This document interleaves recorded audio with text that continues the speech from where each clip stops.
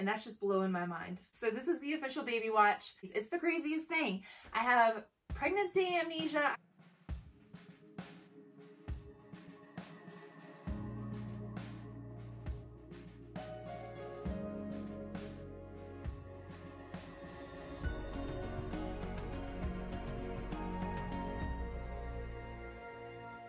Everybody. Thank you so much for joining me today for another pregnancy update. I am currently 37 weeks pregnant right now. I am in my 38th week and I'm having lots of pre-labor signs. So I'm going to tell you guys all about that throughout this vlog.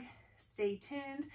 I also wanted to point out that I just recently did a DIY make your own ball cover. So that is going to be on my channel as well. Check it out. It's a easy carry handle ball cover. It's pretty, it's soft, it's aesthetically pleasing in your home. So if you have one of these really ugly exercise balls and you want to cover it up to make your living space more beautified, then check that out. It's super easy. It took me maybe 20 minutes to do it or less.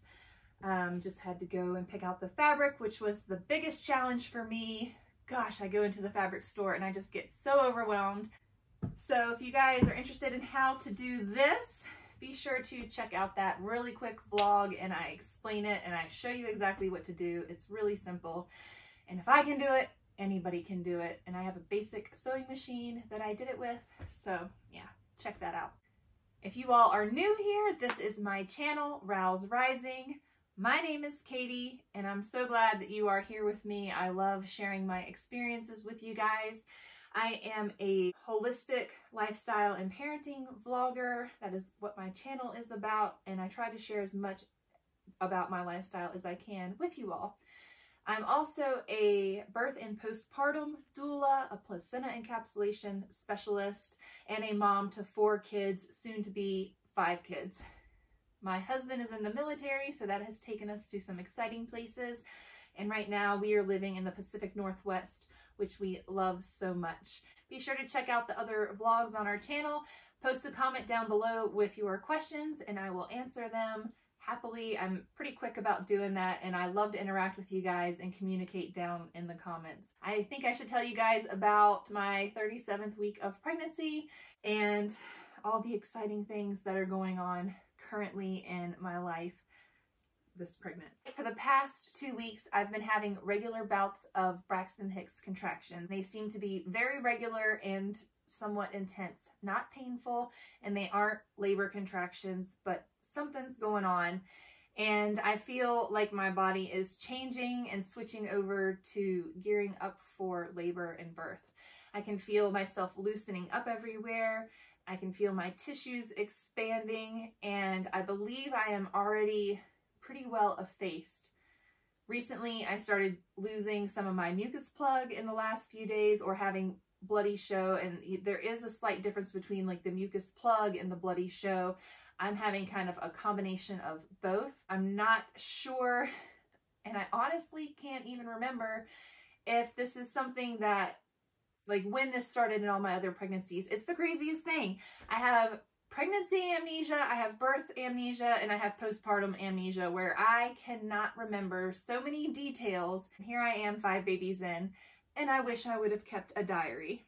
But here we are, no diary for me to go back and recollect on to see when did I start to have signs of labor? When did my body start making the changes, gearing up for labor? Because honestly, with my last pregnancy, I feel like even in my 42nd and 43rd week of pregnancy, um, I wasn't experiencing signs other than like frequent Braxton Hicks. Um, I maybe was losing a little bit of my mucus plug, but definitely I don't think it was happening by 37 weeks. I may be wrong. Um, I feel like I have so much softening and so much going on right now just with the rounds of Braxton Hicks that I've been having. So it makes me wonder, but then again, I know, and I look online and a lot of women say, within a week, you know, I lost my mucus plug and then within the week or within two days or within three days, there's a few people that are like, yeah, I lost it three different times in my pregnancy. And then there's people that say it came out in bits and pieces, which is happening to me.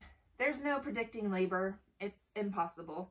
Um, I'm not sure if I mentioned it in other blogs, but my original plan was to order a birth pool with my birth kit so that I had everything ready by 37 weeks.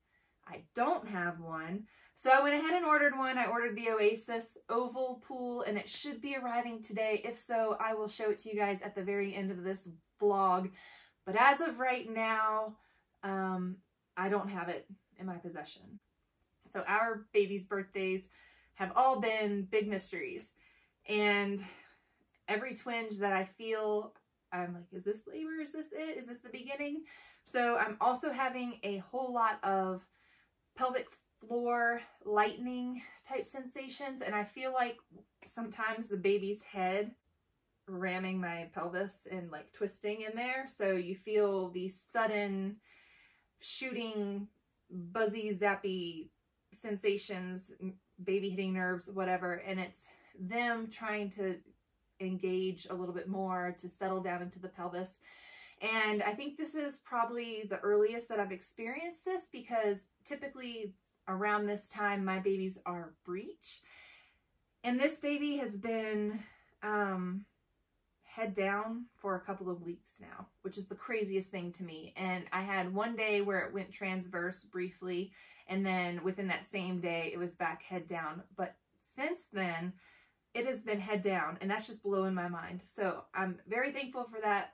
I feel so relieved, but I also know that this baby could pop up and out of position at any time as well, because it's happened to me up to 42 weeks before, where babies have been able to maneuver around and change their positions and get out of my pelvis. And so it's always a mental challenge at the end of pregnancy for me. Am I going to have a breech birth? Am I going to have a vertex baby at birth? And I actually feel like baby's head is pretty low. That could be also like putting pressure on my cervix and causing it to efface a little bit more, which could be pushing out some of the mucus plug and bloody show that I'm experiencing. Um, so all that's really exciting and promising, but you guys, we could still be weeks away. So this is the official baby watch. I'm gonna give birth anytime. I've been nesting around the house like crazy. I made the birth ball cover. I've been cooking and cleaning. I organized my daughter's room. Eventually, both girls are going to be in that room together, uh, so we just had to make space and rearrange the bed situation, it's like moving the bed around and repositioning everything in the room. Nothing too heavy, but probably not things I should be doing um, at this point. I've just been super busy nesting. I have to clean near constant and I'm on my feet moving around doing things all day long. And I haven't really been wearing my compression socks because I'm not having the aching legs so bad but I am having a tiny bit of um just like fluid retention uh, my body's hanging on to the hydration. It's hanging on so that my tissues can expand. And so that's to be expected at the end of pregnancy. Excessive swelling, like my fingers, um, every day when I wake up, I have a pretty healthy whole foods diet. So my fingers, I don't wake up swollen.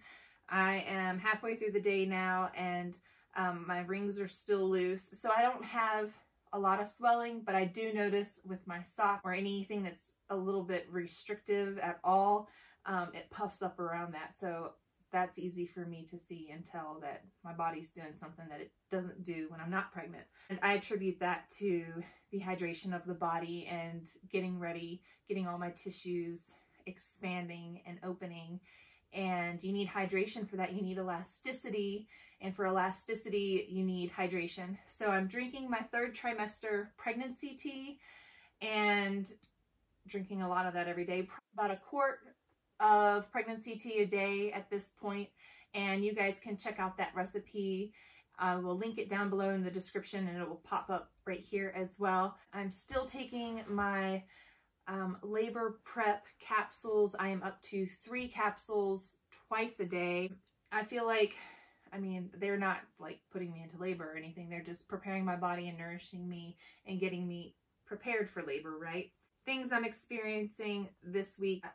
I am having very loose stool and frequent, like a couple times a day, I'm just kind of like staying cleared out. So that is something I can't remember.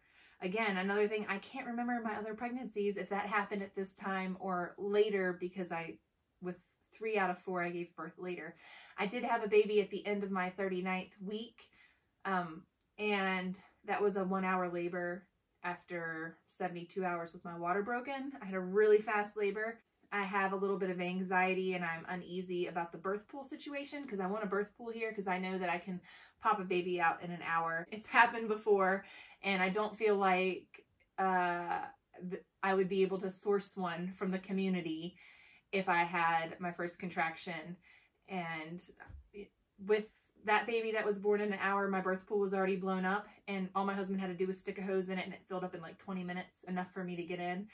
And it worked out really well. So I was able to labor in there for a little bit of time, probably about a half hour or so before the baby was actually born. Laboring in water and birthing in water is the greatest thing I've ever done. I've labored on land, um, I've birthed on land. And I can honestly say that when you put your body into the water, into deep water, it just takes off so much pressure. It just lifts your belly. It is, it's just, it feels amazing. It's a comfort measure that is non-negotiable with me. So that's why I want to be prepared. I want to have everything ready to go so that when labor happens, we're ready. And I don't really feel ready yet. I don't feel that ready. Uh, let's see. So loose stools, bloody show, my breasts have massively expanded. I'm actually uh, have milk in them now or colostrum or something. I mean, I've had it for a couple of weeks. And now it's like if I just touch, like some comes out. It's coming out really easily. So TMI about that. Um, and I'm also a lot darker. I have lots more veins going on. I have really dark areolas at this point. They are very dark. And that is so baby can locate and find them and connect with them. In my last two vlogs, I talked about uh, my birth kit and I also talked about things that I do to prepare my body for natural birth and nat natural labor. So be sure that you are checking out those vlogs so that you can see how I've had easy breezy births the last three times. My first was a posterior baby. That was really challenging. My last three births were relatively straightforward and easy as far as giving birth goes. And I have all of their birth stories on my channel in my pregnancy, birth, and postpartum playlist. So check that out. But I am still experiencing heightened anxiety that I am working with, that I am dealing with. Um, I'm trying to manage, but uh, it's very difficult for me to manage my birthday anxiety.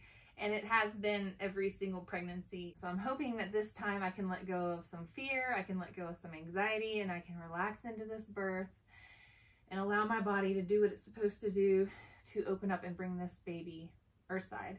I wish that I could get Aaron on here, but we don't have babysitters and we have a noisy house and so a lot of times I have to vlog when he is occupying the kids or like today, for instance, he has the kids in town. It's easier for me to vlog when he has them. Uh, I can have like a conversation and a full thought, but still my head is in like 10 million places because I have checklists going on and things to do. So I'm a little scatterbrained, especially I feel like so far talking so far this vlog, I feel really scatterbrained and kind of flighty.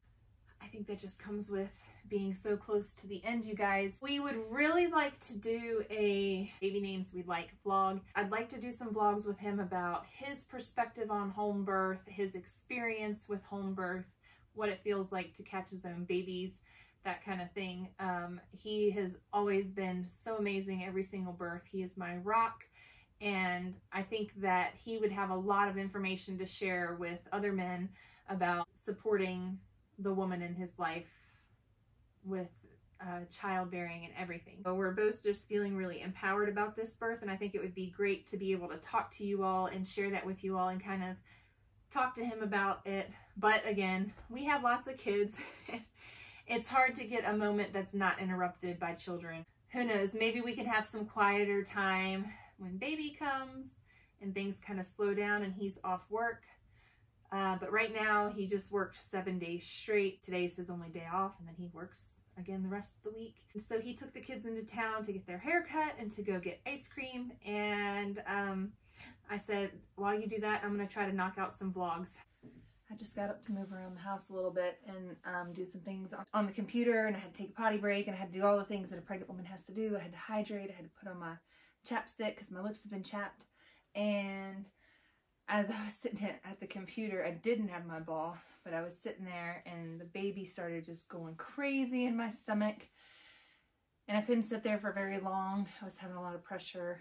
Um, so I got up and I walked around a little more, drank some more water. I'm sitting on the ball because this is probably what I'll be doing for the next however long I am pregnant. Just because it's what feels the best on my bottom and my sacrum which I've ten, like been having some lower back pain, which if you have seen some of my earlier vlogs, I might have talked about my history with my back injury when I was a teenager, what I've dealt with since then in the years that I raced motocross and snowboarded and all that kind of stuff. Um, so I was pretty hard on my body there for a while. I was wild and reckless as a teenager and early 20s something and I didn't really settle down until after my husband and I got married. Up until I was pregnant, I was pretty rough on myself. Um, I did crash my dirt bike quite a few times. I did crash snowboarding quite a few times. I landed on my tailbone and just felt my back compress. And so um, it took us a long time to figure out because I just kind of brushed it off. and yeah, I was in pain, but to me it was like, oh, I've just done something stupid. So I'm just going to ignore it and it turns out, we found out like a year later, I herniated L4, L5, S1, the discs between those. I've had like residual issues with that since. Um, I do get sciatic. I do get the typical aches and pains and I probably don't talk about it much at all in my vlogs because to me it's just something that's constant and just a part of my life. Yes, I do suffer with tailbone pain and lower back pain in pregnancy and sitting on this ball really helps with that. It really helps to open up my pelvis and when I was walking around the house, I'm having a lot of round ligament pains and some pains in the tops of my thighs. And so um, everything's just really loosening up in my stomach. It's doing some crazy stuff. Baby's moving. Its feet are over here. Its back is here. It is head down and it's just kicking and firing off and kneeing me and punching and then there's like elbows down here where my belly button is and it's really cool. My pants are really tight. They're normally not very tight but for some reason right now they feel very tight. Yeah, so I, I guess like the end of pregnancy for me, I don't think I'm in labor till like it really, really, really gets real but I have lots of days where I feel like this. Ooh, ooh. This baby's going nuts. I don't know if you'll be able to see that, but it will kick down here.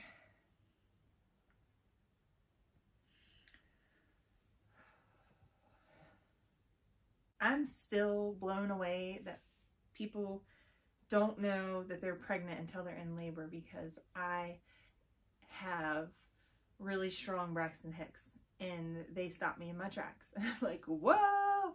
So I was reading, some women just don't experience that at all, ever. They don't get Braxton Hicks contractions.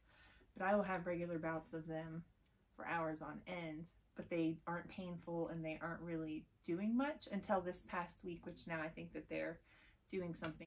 And everything that's been going on with that. So we'll see when this baby comes. Labor Watch 2021, February. I told, I joked and told my brother I was going to have this baby March 21st. So if I stayed pregnant as long as I did with Annika or longer, um, it's possible this baby could be born as late as March 21st or as early as right now. And it's beginning of February. So what are we? February 8th?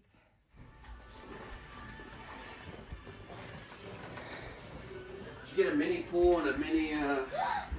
the pool's here, the pool's here! The pool's here, the pool's here! What?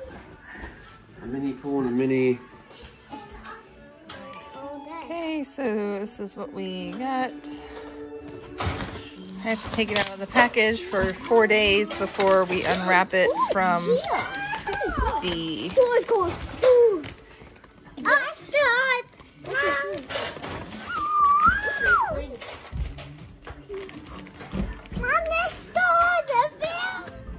Yep, the one on top is the liner and the one on the bottom is the pool.